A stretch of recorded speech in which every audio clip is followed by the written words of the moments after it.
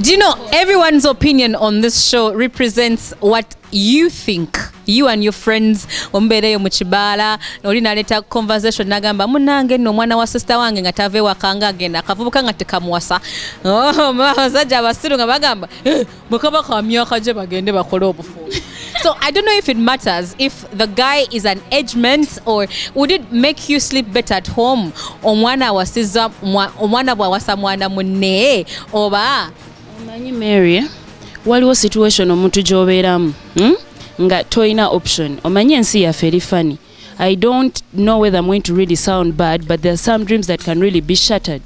Okitegedde ng'okiroota naye ngaekituufu tekigenda tuukirira mu lo okitegeera eh, kale kubanga ebyo bisobose you think buli kimu kisoboka. Muganda ng'osobola oyoyo enkoko wiiki n'ebula. Kati gwe byebyo ebirooto byo byankoko ŋŋamba mpa ekizampe gezaako kuwa ekizampo ennyangu. Okitegedde okitegedde neebula wiiki eyo naye ngaobadde ojagala ogiryeko mu wiiki eyo kitegeera. Neebula naye waliwo obuzibu we buviiraawo mu eyo wiiki. Wiiki eyo otuka olwokuna kwegamba ngaenjala yo etuuse kwa 100 Okitegeera. ne wabaayo boy nakugaa nze nkugulira namba. Kfc baketi okitegedde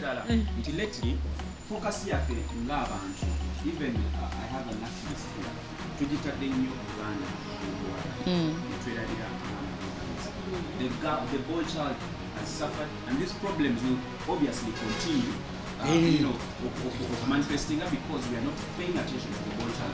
Lwaki oba- oba empowering the girl child not early marriage is bad. You understand? What about the, the boy child? What are you telling him? What do you Because want for us to tell him? i know um, Tell him that these are your sisters. no do that, that you guys love. do wait Pap, these are your. No I do bakuse no and do do do do early marriages affect boys in any way like i'm just asking It affects you both become sexes. responsible you become a father because i feel like most times it's the boys who initiate the early marriages Oh, yeah No, yes no mwana gwe but then most times it's the boys that initiate the marriages O- omusajja omuvubuka bw'oba omubuuliridde n'omugamba nti having early sex is bad because one you're going to impregnate somebody's daughter. And when you impregnate somebody's daughter oyo omuwala bagenda mugoba wa ewaabwe Awo ajje ewo n'asiriikiriramu. remember you don't have a job. N'apimamu ye we bimukwatirako nga bagobye ewaabwe n'apimamu ng'amagulu alina abiri amanyi okudduka ate kiki kyolinda? Oba wabivuddemu dda muganda wange mama lobi gano gamba mmanyi okudduka twi! Olaba ab'emyaka asatu bwe bagamba nti olina olubuto badduka. Naye olwo wekumi n'omukaaga. Gwe- olina opini gwe ati olaba gwe nga gwe owulira muli osobola owuliriza kubanga oli responsible. Okyegeera owulira muli osobola otula n'okiwuliriza nogaa bakiŋŋambye sigenda kikola naye banno banno okyegedde abo bazibu nnyo mukwano. Omugamba n'agamba bwe nfundikira. Eno fala mbwalina kyaliwe kyaliwe yali ali wange isa biri musanvu tuli namuwonga awo yawasa omukazi kuba aguze tv naye omukazi ye yafumbirwa nga tebamugambye nti fumbirwa. Yajja olunaku lumu lwakubiri lwakatale kulaba ina.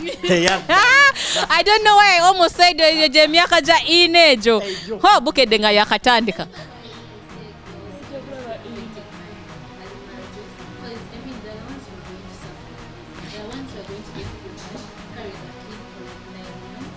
which means ajagenda kuddayo ku ssomero obulamu bwe bwe bwateeka matigga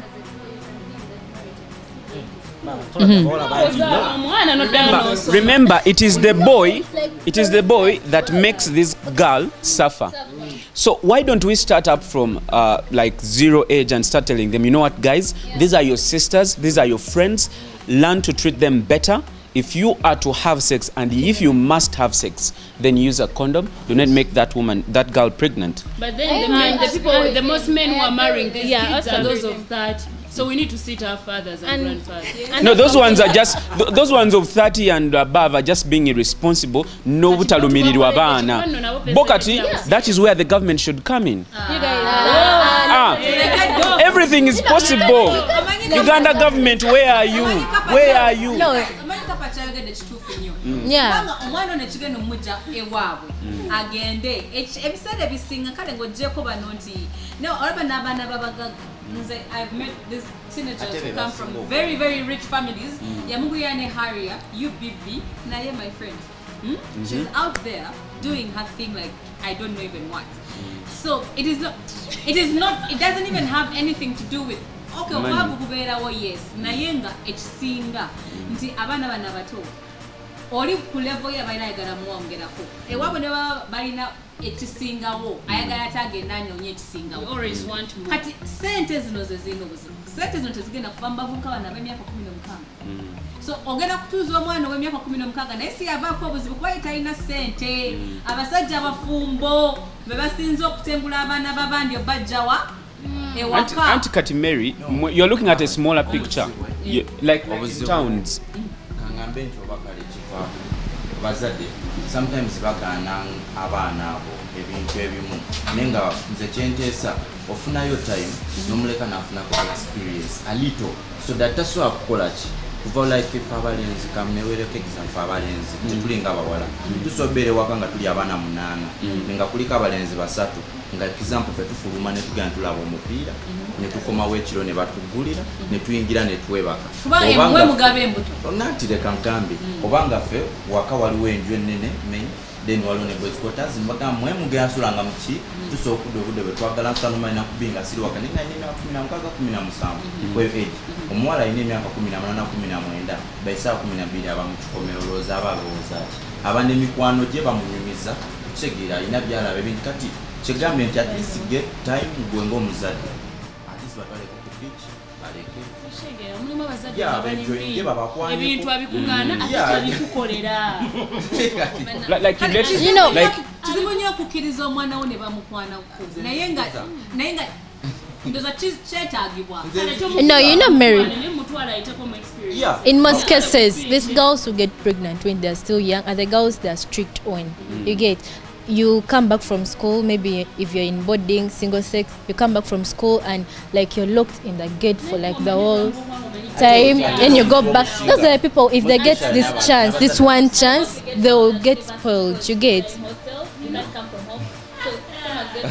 they easily get spoiled. But you guys, you guys, you, you So, guys, I'm a parent. it. My mm. responsibility as a parent is to provide, mm. to protect. Mm. Mm-hmm. Yes. you overprotect pro- no, no, no, no, no, no. There's nothing. When, like, overprotecting? sexy. No, To to provide, to protect, To to, guide. care and love. Yes, and Yeah. guide. So mungamba I am overprotective. What do you no, Mary, you know, this is a new generation and